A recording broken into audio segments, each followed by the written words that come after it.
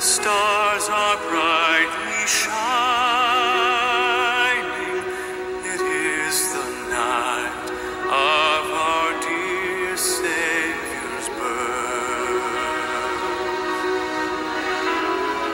Long lay the world in sin